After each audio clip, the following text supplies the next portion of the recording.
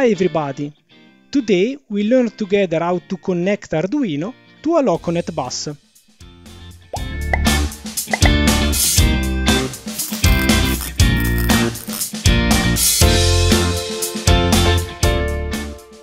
In the previous tutorials of this series, we have seen what are the main elements needed to run a digital layout in DCC standard and how to make them with Arduino.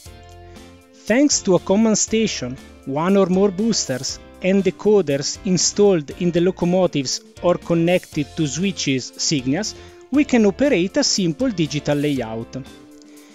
As the complexity and size of the layout increased, it was soon realized that what the DCC standard offered did not cover all the needs. For example, in large-scale models, it is essential to have more throttles, placed in different points of the layout or, even better, wireless. Furthermore, for an automatic or semi-automatic management of the layout, a computer, sensors, control panels are required and must continuously exchange information to be all updated on the status of the various elements of the layout. For this reason, some manufacturers have developed their own solutions, this solution complement, do not replace the DCC standard. Since their main feature is to guarantee an exchange of information between the connected devices, we often call them networks or buses. Sometimes, as they were originally created to connect throttles to the DCC command station, these solutions are also called throttles networks. The two most popular solutions, at least here in Europe, are Loconet, developed by Digitrax, XpressNet, developed by Lenz. Over time, other manufacturers have adopted for their products one of these communication buses, or both. For example, the Digikeijs DR5000 command station supports both. Even the NMRA the association that gave life to the DCC standard has released its own solution, called Layout Command Control LCC, but at the moment it does not seem very adopted in commercial stations. Each communication bus has its pros and cons. Normally you decide to adopt the one supported by your command station or by the accessories you own.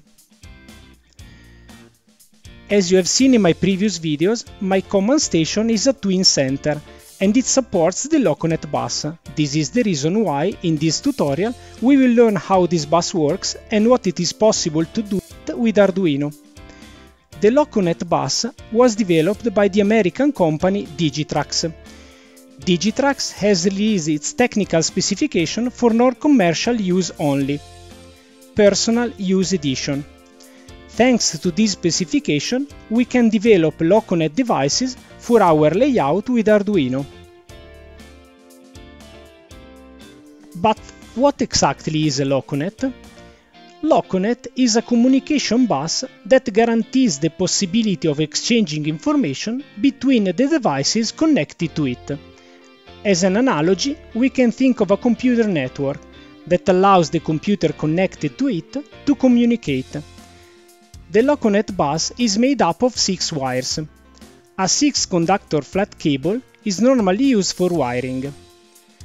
To connect the devices, you use connectors called RJ12. Some devices have two connectors, so that they can be cascaded.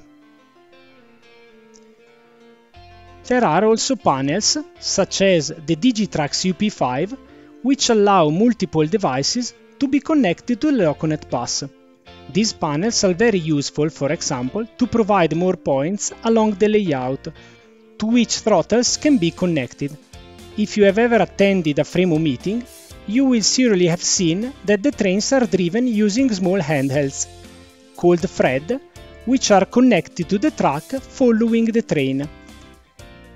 Except in special cases, the Loconet bus is always connected to a command station, which acts as a master device. A Loconet command station can have two different connectors, labeled Loconet B and Loconet T.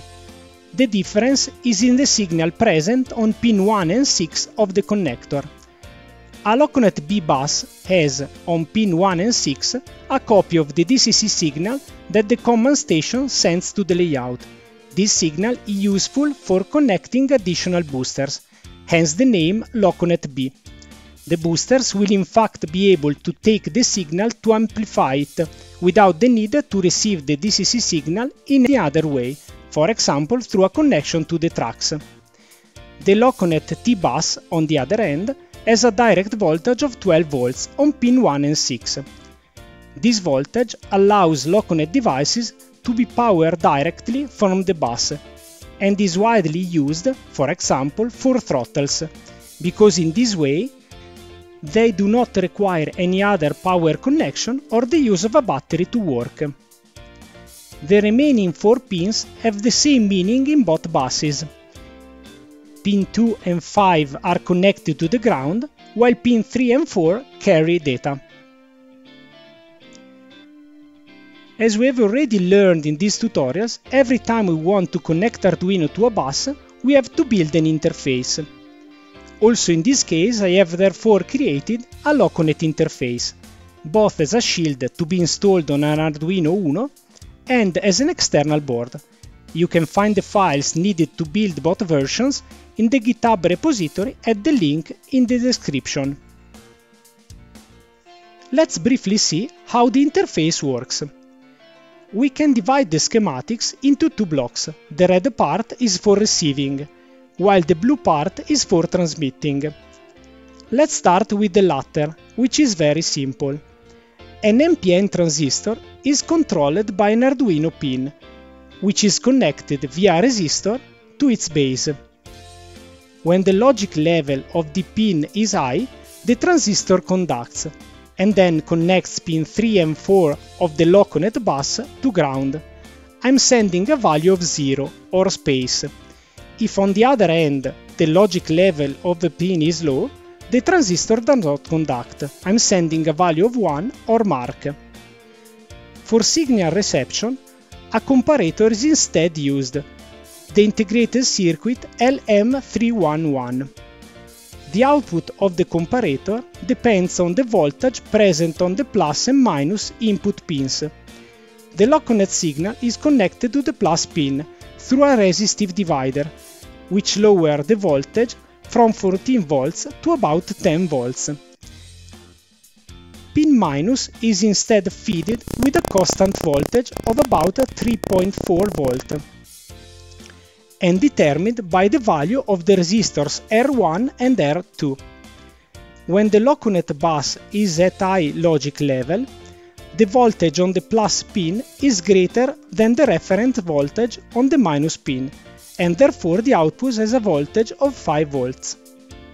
Conversely, if the Loconet bus is at low logic level, the voltage on pin plus is lower than the one on pin minus, and the output has a voltage of 0 volt. The comparator output is also connected to an Arduino pin. In this way, the program running on Arduino is able to read the current value of the Loconet bus. But how can we write an Arduino program that speaks the Loconet language?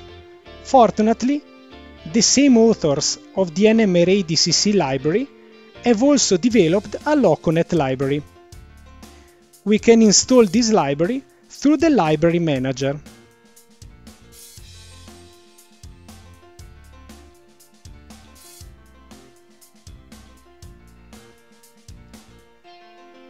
Several examples are provided to help you understand how it works. Let's try to develop a simple sketch that, by reading the status of a button, sends command to the Loconet bus to power up or turn off the layout. The first thing to do is to include the library and initialize it within the setup. If you want, you can indicate in the init method which pins you want to use to transmit. If you do not specify anything, the library will use pin 6. The pin used to receive is fixed, and it is pin 8. The method you must use to request the command station to change the power state of the layout is report power, which accepts as a parameter 1 to power the layout or 0 to turn it off.